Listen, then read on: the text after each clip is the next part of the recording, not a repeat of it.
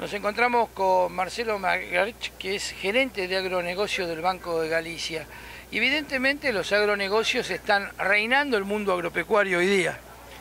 Yo te diría que no es reinando el mundo agropecuario. Los agronegocios en Argentina son el gran negocio de la Argentina. Eh, ayer tuvimos un encuentro acá en el stand en Expo Agro donde eh, había integrantes de todos los eslabones de la cadena productiva argentina, pero tenías desde empresas eh, petroleras como IPF, eh, siderúrgicas como Techín, industria metalmecánica, extranjera y nacional, productores agropecuarios, industria alimenticia.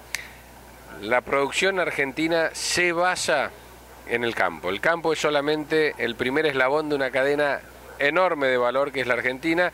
Y bueno, y creo que una muestra como Expo Agro eh, lleva a esa reflexión, a decir, che, lo que se junta acá no es el campo, es la industria, es la economía argentina. A ver, hay muchos productores que quieren trabajar con Galicia, pero Galicia no tiene una territorialidad, o sea, no está en muchas localidades.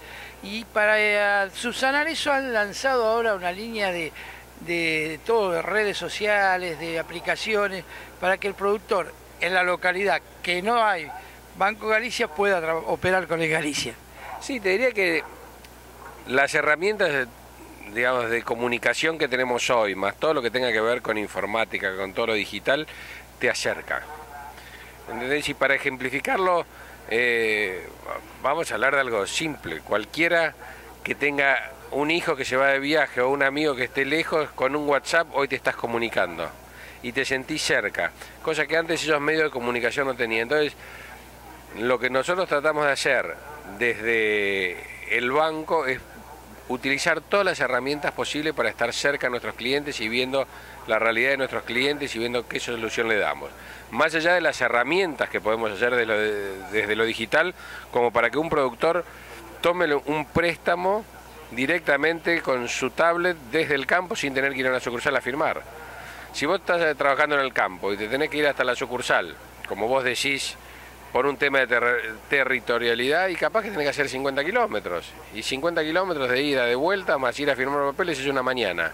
Una mañana es mucho tiempo y tiempo es dinero. Con lo cual poner a disposición de nuestros clientes estas herramientas es parte de buscar la eficiencia de nuestros clientes en sus negocios y por supuesto nuestra también, porque es más sencillo también el proceso para nosotros. ¿Qué oferta de líneas tienen hoy día? Llegamos a Expo con una oferta de 40 mil millones de pesos en márgenes aprobados para nuestros clientes, para líneas tanto de corto como de largo plazo. Esperemos que se tomen todos, porque para eso trabajamos en, preacordar esos márgenes, eh, pero bueno, eso depende de la necesidad y de las ganas de invertir que tenga cada productor, y cada productor es una empresa diferente. ¿El plástico está incluido dentro de esa línea o esa parte? No, dentro de esos 40 mil millones está sin duda lo que está la tarjeta Galicia Rural, que es en realidad... La herramienta. Es una herramienta, te diría que de las más importantes, llevar el, préstamo en el bolsillo. Hoy día hay que ya se puede empezar a planificar la ganadería a largo plazo, porque el negocio ganadero es a largo plazo. ¿Qué están ofreciendo de Galicia para armar una estrategia y recomponer rodeos? Te diría que tenemos líneas hasta cinco años de plazo para lo que tiene que ver con la ganadería eh, tratamos de buscar proyectos de inversión ganadero. Yo creo que hay un cambio de paradigma en el productor argentino y te diría que hasta en el agricultor argentino que en los últimos años se hizo sumamente eficiente en la producción de granos, pero el nuevo paradigma es transformar esos granos quizás en proteína.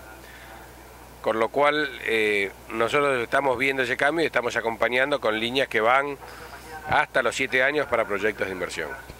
Marcelo, hoy día el productor tiene a través de Galicia Rural la posibilidad de eh, tener la tarjeta con el convenio CRA. ¿Cuáles son los beneficios a grandes rasgos?